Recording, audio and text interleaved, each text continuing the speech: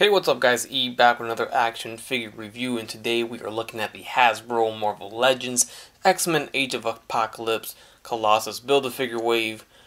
This is Rogue. And Rogue comes packed in with an arm of Colossus as you can see. And we have a very colorful and vibrant figure ahead of us. So pretty cool. Can't wait to open it up. Here's the side of the package with some nice artwork as always. I love the artwork from the Age of Apocalypse waves. Now we have two, so I can say that in plural. And then here's the back side, showing the rest of the wave.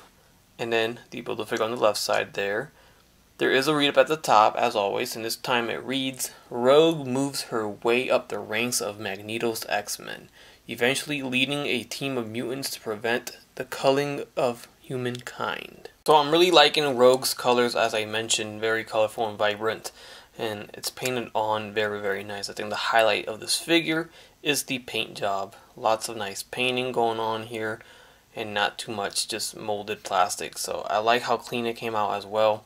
Uh, she is light on the accessories department, which is something I have noticed with a lot of the recent Marvel Legends, is they're getting lighter and lighter with accessories. Some of them coming without anything at all, just the figure only. Uh, so I don't know if that's something that is going to be the norm now or what. Uh, but she only does come with a pair of hands. So right now we can see she has the open hands and then we get a pair of fists. And that's it. That's it for her. And then that's of course not counting the Build-A-Figure piece. If we want to count that, then yes, she comes with something else. And the Build-A-Figure piece that she has, or that she comes with, is the left arm of Colossus and then also an alternate hand for that left arm. So we get a fist and we get the open hand right there, and that's it. Alright, so here's a close look at the figure, and we'll start off with the head, as always. The head sculpt is looking very, very good. Hasbro continues to improve and to uh, get better and better as they release figures with head sculpts, and I mean, honestly, the entire figure overall across the board just gets improvements and gets better every year. So, definitely and digging this one here. You can see how big I guess the bangs are to the point where it casts a shadow over her eyes. Uh, you have to kind of get her looking up to see underneath there. But the hair sculpt is very nice. The face sculpt is very nice too. The paint job is nice. Speaking of the paint job, now we can look at the paint job up close and we can see here that collar piece is painted green and the, the silver buttons there. We got some some nice green on the uh, on the arms, going down to her hands. There is a big old peg hole on the back that's not utilized for anything. It's just a reused mold, so it's there. And then notice that that collar piece is pegged in into another peg hole. Just it's already pre-attached there. Going down to the groin slash thighs. The thigh has, or the right thigh has a band that is similar to our nightmares from the Jim Lee Cyclops. He had those bands around his thighs and they kept falling. So this will fall too, but you saw how tight that was. It's because I pushed it up. If you push it up as far as you can, then it's not going to go anywhere. So nothing to worry about there. I do wish that was just permanently there. I don't see the point of having it removable. Then if it is molded, then you can't really reuse the uh, the leg mold, right, for another figure. So that makes sense. And then you can also see here, we have pinless knees. So this is a brand new leg mold. Now the arms are pinless too, but technically they're single jointed. I mean they are single jointed, so they've always been pinless. They're not double jointed. And then we have the boots looking very very nice here too. And here's one more look at those open hands. And then here's a look at the alternate hands, the fist hands attached. I also do want to point out that she has removable little wristbands here. They're actually meant to be the bottom of the glove but they are a separate piece.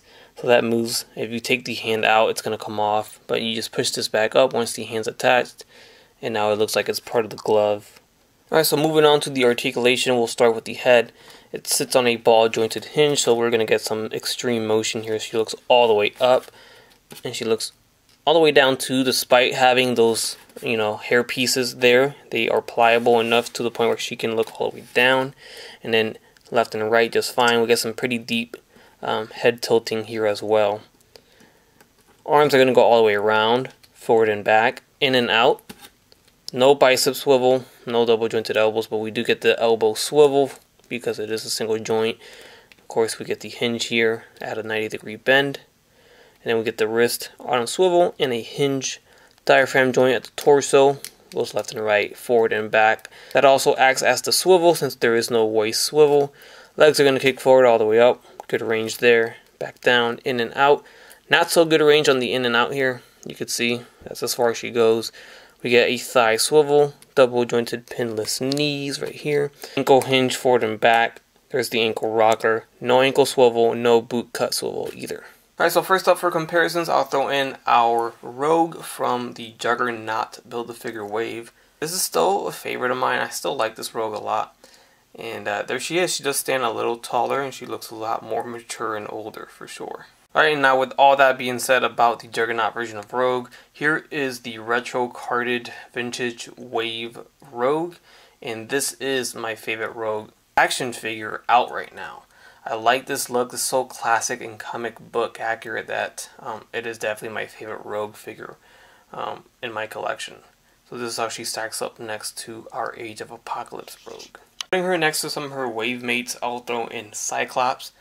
And again, all of these wave mates that you see, pretty much every figure you see compared um, is going to already have a review up. So if you are ever interested in seeing a review, then go ahead and backtrack and check that out.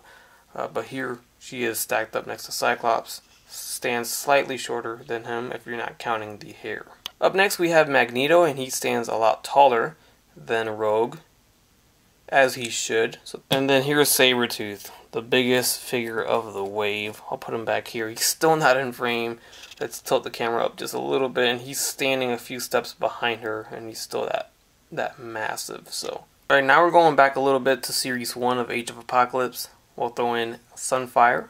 Here we have Nate Grey. Here we have Jean Grey. And Kendall Gray. And then, of course, we have Wild Child. Alright folks, that's going to do it for this review of the Marvel Legends X-Men Age of Apocalypse Colossus Build-A-Figure Wave of Rogue. Guys, I'm officially halfway through this wave. I have already reviewed Sabretooth, Magneto, and Cyclops, so if you missed out on those, go ahead and check those reviews out. They are some very nice figures. And stay tuned for the remainder of this wave. Coming up next, we have Iceman, and then we still have Kitty Pryde, aka Shadowcat, and Legion. You know the drill. Leave a like and a comment down below. Let me know your thoughts. I do read your comments. Although I may not always reply, I always try to.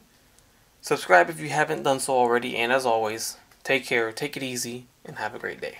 Bye. That's crispy.